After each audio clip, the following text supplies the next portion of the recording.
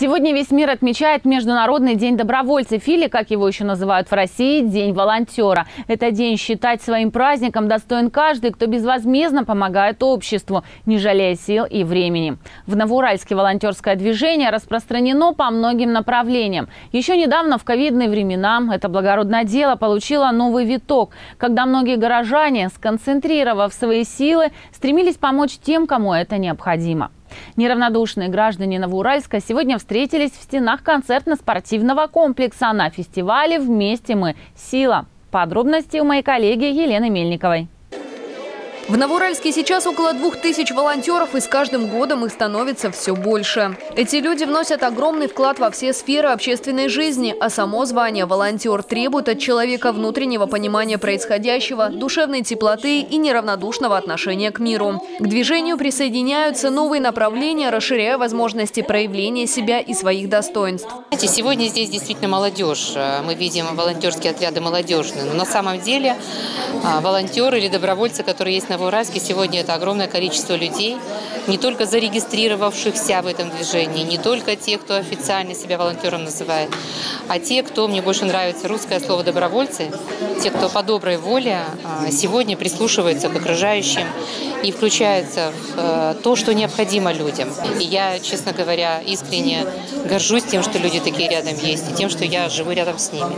Официально в городе зарегистрировано 25 отрядов волонтеров. В Новоуральске движение зародилось в 1997 году. Тогда у истоков стояли студенты-медики. Они первыми запустили по городу волну милосердия. Сначала оказывали нуждающимся гуманитарную помощь, проводили первые благотворительные акции. Со временем, обрастая новыми задачами, сообщество неравнодушных становилось больше. Первые студенты, девчонки начинали заниматься волонтерской работой, помогая социальной службе, которая тогда работала на базе третьей поликлиники.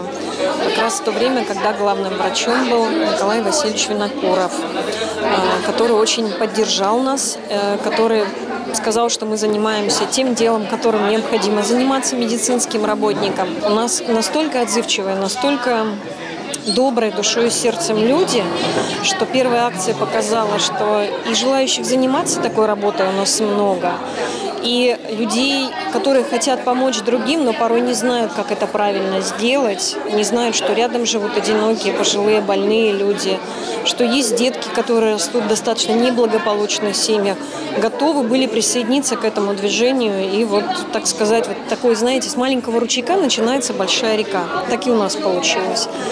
Поэтому сегодня особые слова благодарности первым ребятам-медикам, волонтерам, ну и особые слова благодарности всем ребятам, кого сегодня можно назвать волонтерами. Но у нас же есть еще и люди более старшего возраста, умудренные жизненным опытом волонтеры. Сегодня волонтерство есть и в детских садах. Малыши, мамы, папы к этому присоединяются. День волонтеров в Новоуральске отметили интересным мероприятием, которое позволило всем добровольческим коллективам объединиться и поделиться друг с другом своим опытом и добром. В целом фестиваль направлен на то, чтобы объединить волонтеров, чтобы они могли поделиться знаниями, умениями, которые приобретают. А, сегодня у нас а, команда образования, то есть больше на сплочение волонтеров между отрядами. Я как а, организатор многих мероприятий очень часто с ними сталкиваюсь, и, безусловно, их надо поощрять за ту работу, которую они проводят в течение года.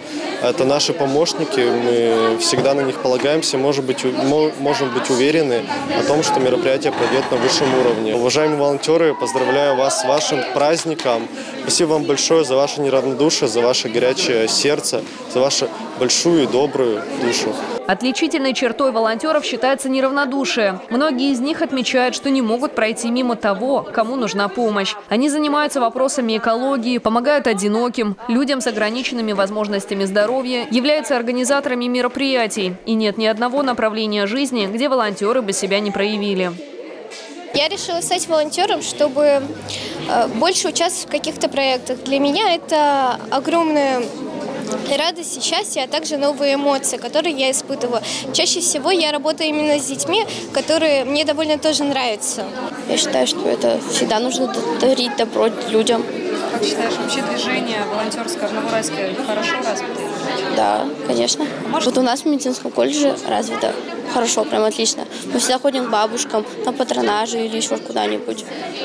В наши обязанности входит проводить какие-то мероприятия в детской библиотеке, э, приходить на занятия иногда и, в принципе, помогать людям на мероприятиях детской библиотеки. Волонтерство меня привлекает помощь людям э, безвозмездная, чтобы они просто говорили тебе человеческое спасибо.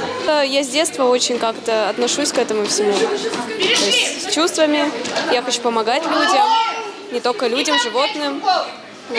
Поэтому я сразу же пошла, как пришла в эту школу, э, записываться в наш отряд. То есть я в 10 классе, у нас половина точно уже стоит в нашем отряде. То есть все активно принимают в этом участие. Сегодня быть волонтером – потребность души и сердца. Делать добрые дела никогда не поздно. И каждый может присоединиться к движению или узнать о нем больше на сайте добро.ру. Путь волонтера – это путь добра. И вместе мы сможем сделать этот мир лучше и добрее. Елена Мельникова, Павел Сизов. Объектив «Итоги».